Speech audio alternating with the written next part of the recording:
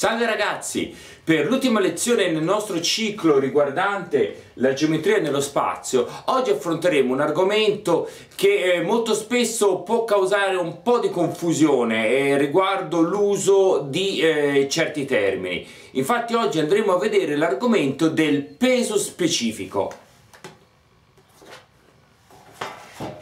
E per capire come mai eh, parlare di peso specifico, soprattutto riguardante la geometria del programma italiano, può causare qualche problema, torniamo indietro a dei concetti che abbiamo già studiato insieme in prima media, ovvero i concetti di massa e di peso. E per aiutarci in questa esplorazione dei concetti di massa e di peso in questo ripasso eh, chiederemo l'aiuto alla nostra astronauta italiana Samantha Cristoforetti che qui vediamo in due situazioni diverse Prima di tutto partiamo dalla definizione, dalla definizione di massa e dalla definizione di peso, che potete leggere qui alle mie spalle. La massa è la quantità di materia contenuta in un corpo e come tale eh, ovviamente è una quantità che non è eh, destinata a cambiare a meno che noi non eh, applichiamo qualche modifica a questo corpo, se aggiungiamo o togliamo qualche pezzo, ma in generale la, eh, la massa di un corpo non cambierà cambiando il contesto. Viceversa invece quello che noi chiamiamo peso in realtà è l'effetto della forza di gravità, più normalmente l'effetto della forza di gravità della Terra su un corpo. Questo effetto è eh, direttamente proporzionale alla massa del corpo. Eh, però a differenza della massa il peso può cambiare proprio perché dipende dalla forza di gravità quindi dipende da dove ti trovi in che situazione stai. Quindi vediamo due casi in cui lo stesso oggetto in particolare quindi l'astronauta Samantha Cristoforetti e, e andiamo a vedere in queste due situazioni la massa e il peso di Samantha quando è sulla Terra la nostra astronauta italiana ha una massa di 50 kg, quindi già qui andiamo a ricordare che il chilogrammo è l'unità di misura non del peso ma della massa, quindi nel, nel sistema internazionale dell'unità di misura la massa si misura in chilogrammi. Quindi Samantha ha una massa di 50 kg, essendo sulla Terra sente come tutti noi l'effetto della forza di gravità, quindi avrà un peso e eh, il peso eh, di una persona che ha una massa di 50 kg è circa 500 newton. L'unità di misura del peso è il newton perché il, eh, il peso è una forza e l'unità di misura di tutte le forze, che sia una forza di gravità, che sia una forza elettrica e così via, si misura in newton. Come potete già intuire c'è una relazione abbastanza semplice, c'è una conversione abbastanza semplice tra massa in chilogrammi e peso in newton quando siamo sulla Terra. Infatti vedete che questo numero è 10 volte più grande della massa. Questo perché eh, per un caso, diciamo, le, questa relazione appunto peso uguale massa per 10, in realtà sarebbe 9,8 ma noi normalmente lo arrotondiamo con 10 e questo è vero sulla Terra, su un altro pianeta, su un altro corpo celeste, in un'altra situazione la conversione sarebbe diversa. Consideriamo ora Samantha Cristoforetti nello spazio, no? Mm, che galleggia nello spazio con la, sua, con la sua tuta fuori dalla Stazione Spaziale Internazionale. Allora, Ricordiamoci, quale, pensiamo un attimo, quale sarà la massa di Samantha Cristoforetti? Andando a vedere di nuovo la definizione di massa, quindi la quantità di materia contenuta in un corpo, la quantità di materia dentro Samantha non sarà cambiata, quindi sarà sempre circa 50 kg. Quindi questo numero non cambierà a seconda di dove ti trovi, sarà sempre una cosa che caratterizzerà Samantha Cristoforetti. Invece, gli astronauti che orbitano intorno alla Terra si trovano in una situazione, come diciamo, di assenza di peso. Non è esattamente assenza di gravità, la distinzione è un po' sottile e va un po' al di là di eh, quello che voglio spiegarvi oggi, però a tutti gli effetti Samantha è in assenza di peso, quindi il suo peso è uguale a zero. Quindi ricapitolando, la massa è una grandezza che non cambia e si misura normalmente in chilogrammi, il peso è una grandezza che può cambiare a seconda della situazione in cui ti trovi e come tutte le forze si misura in newton. Quindi qui abbiamo 50 kg, 50 kg, qui abbiamo 500 newton sulla superficie terrestre e qui abbiamo 0 newton nell'orbita della Stazione Spazia Spaziale Internazionale. la confusione che ci può essere tra i concetti di massa e peso, perché poi nella vita di tutti i giorni noi ci riferiamo al peso eh, chiamandolo appunto eh, con unità di misura dei chilogrammi e così via. Quindi eh, molto spesso noi indichiamo con il peso quello che da un punto di vista della fisica è in realtà la massa. Lo stesso tipo di confusione si fa tra due grandezze che sono legate rispettivamente a massa e peso, ovvero la densità e il peso specifico. E di nuovo sono due grandezze che abbiamo già incontrato nel corso di scienze di prima media. E a questo punto è utile andare a rinfrescarci un po' la memoria. La densità è definita come il rapporto, quindi la divisione tra la massa m di un corpo e il suo volume v. Quindi densità uguale a massa diviso volume. Dal momento che nel sistema internazionale dell'unità di misura l'unità di misura principale della massa è il chilogrammo e l'unità di misura principale del volume è il metro cubico, l'unità di misura principale per la densità sarà chilogrammi su metro cubici. In realtà, eh, di nuovo, questa è una cosa che abbiamo già visto in prima media, è più comodo per noi usare un'altra unità, unità derivata, che sono i grammi su centimetro cubici. Perché? Perché gli oggetti con cui avremo a che fare normalmente in un corso di scienze o in un corso di geometria avranno una massa più dell'ordine dei grammi che dei chilogrammi e soprattutto delle dimensioni dei volumi più dell'ordine del centimetro cubico che del metro cubico che abbiamo già visto essere un volume molto molto grande. Il peso specifico è una grandezza che invece definiamo in maniera molto simile, solo che al posto della massa c'è il peso dell'oggetto. Quindi peso specifico di nuovo è un rapporto tra il peso P dell'oggetto e il volume V andandoci a ricordare quello che abbiamo visto eh, nella lavagna precedente, ovvero l'unità di misura eh, del peso, è ovvio che l'unità di misura del peso specifico sarà in newton su metri cubici. E questo è il quadro come eh, dovremmo trovare normalmente che so in un libro di scienze. Tuttavia eh, quello che succede nel corso di geometria della terza media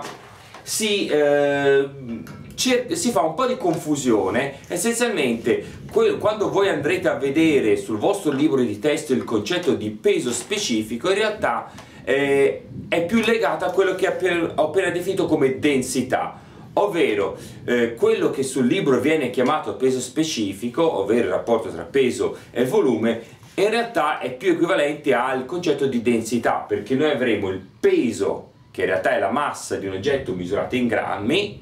il volume del mio oggetto, qui non c'è nessuna ambiguità, misurato in centimetri cubici, quindi eh, il più delle volte quando sul libro di testo di geometria andranno a parlare di peso specifico si riferiranno a un rapporto tra una grandezza misurata in grammi e una grandezza misurata in centimetri cubici. Quindi molto spesso quando ehm, verrà messo il valore di un certo peso specifico eh, con un certo numero, eh, più delle volte, e questo lo andiamo a vedere anche nella lavagna eh, successiva, ehm, non verrà nemmeno messa l'unità di misura sottointendendo che l'unità di misura saranno in grammi su centimetri cubici. Quindi ricapitolando, sul libro di testo e così, così anche nell'esame, questa è la cosa importante e per questo ci tengo a sottolineare questa differenza tra il concetto scientificamente corretto e il, ehm, il concetto così come viene utilizzato nell'esame terza media, quando qui e nel corso di geometria parleremo di peso specifico, in realtà ci stiamo definendo la densità di un oggetto.